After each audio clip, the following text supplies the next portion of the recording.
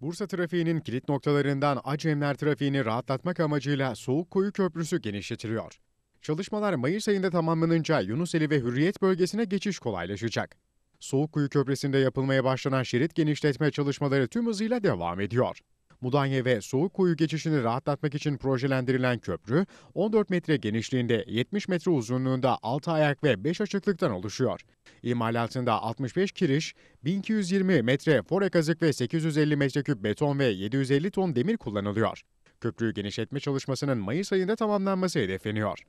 her gelişen şehrin, her büyük şehrin, milyonluk şehirlerin önemli konularından bir tanesi. Bize bu doğrultuda raylı sistemler, yeni yollar, köprüler, kavşaklar e, yaparak ulaşımı sorun olmaktan çıkarmaya çalışıyoruz.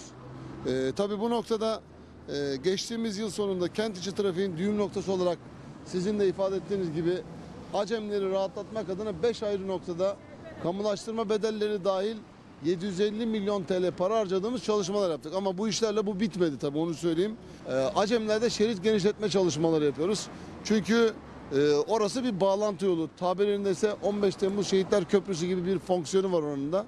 Dolayısıyla da bu noktada şerit genişletme çalışmalarını yapıyoruz. Mudanya ve Soğukkuyu istikametlerine geçişi, geçişi rahatlatmak için projelendirdiğimiz ayrı köprümüz var. 14 metre genişliğinde 70 metre uzunluğunda 6 ayak ve 5 açıklıktan oluşmakta. İmalatında 65 adet kiriş, 1220 metre fore kazık, 850 metreküp beton ve 750 tonda e, demir kullanılıyor.